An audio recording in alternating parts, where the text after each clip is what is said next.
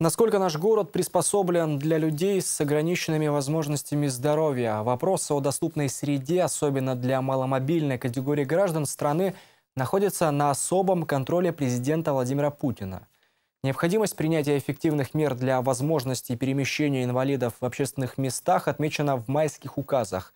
Насколько они реализованы и есть ли в Наринмаре доступная среда, говорили на заседании регионального штаба Общероссийского народного фронта.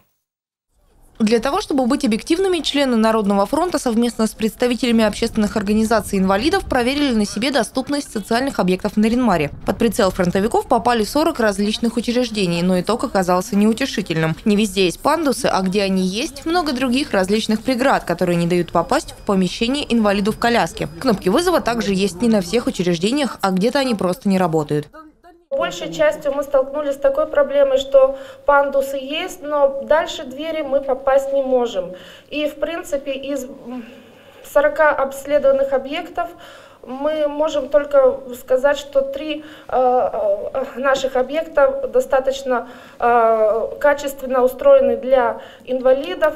Инвалиды без проблем могут попасть в многофункциональный центр города, третью баню и ледовый дворец труд. Программа «Доступная среда» начала действовать в России в 2011 году. Ранее полномочия по исполнению всех необходимых мероприятий в рамках программы находились в ведении Архангельской области. В результате обязанности практически не исполнялись. С этого года все права переданы нашему региону. Сейчас в администрации разработана и принята дорожная карта по доступной среде на 2016-2020 годы.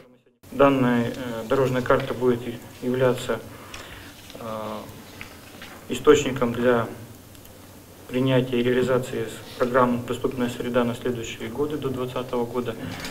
К концу 2020 года дорожная карта предусматривает э, адаптацию всех объектов социальной направленности. Это и культура, и образование, и спорт, и здравоохранение. По заключению фронтовиков, программа «Доступная среда» реализована в нашем регионе лишь частично. Впрочем, как и во многих других субъектах России. Сейчас не возникает проблем при посещении социальных или культурных объектов только у жителей и гостей Сочи. Остальные россияне, прикованные к инвалидным креслам, вынуждены довольствоваться малым.